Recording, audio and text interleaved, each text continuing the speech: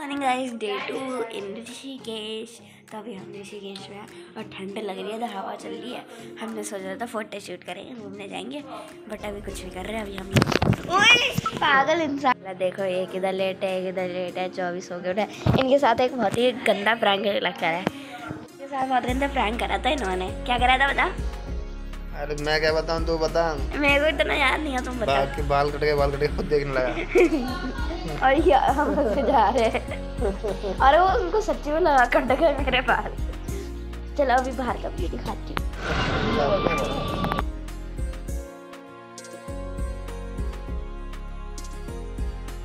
ये मैंने टॉप बदल लिया और ये वाली जीन्स और शूज़ वही हैं क्योंकि मैं एक छोटे शूज़ लाई हूँ। तो बस। मेकअप करा है। हाँ अब दिखाती हूँ। ये मेकअप है मेरा। कंची पहन रखा है।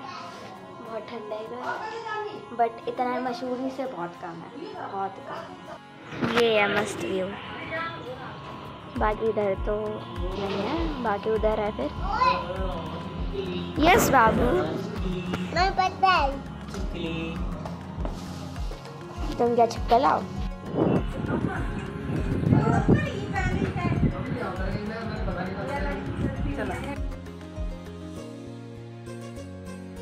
पहुँच गया नील वाटर फॉल तो अभी हम जा रहे हैं उधर ही झरने पर फ्रेंड्स हम अपने पॉइंट पर पहुँच चुके हैं। ये पॉइंट है। चलो अब ऊपर चलते हैं। अच्छा लग रहा है इधर। और ऊपर नहीं जाएँगे हम। वो चलने में थोड़ी दिक्कत होती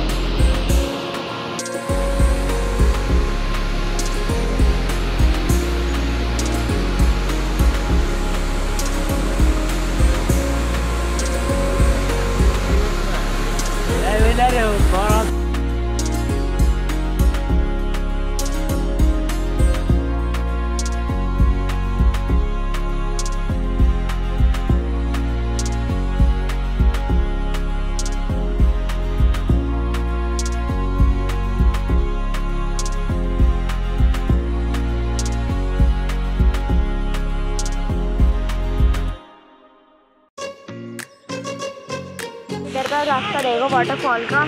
स्लिपरी है। देखो स्लिप हो जाएँगे। मतलब कि थोड़ा स्लिपरी है। बहुत ज़्यादा डर लग रहा है। बट कोई नहीं, चल लेंगे। फ्रेंड्स देखो ऐसा कुछ रास्ता है इधर का। हम तो उधर बहुत ऊपर रहते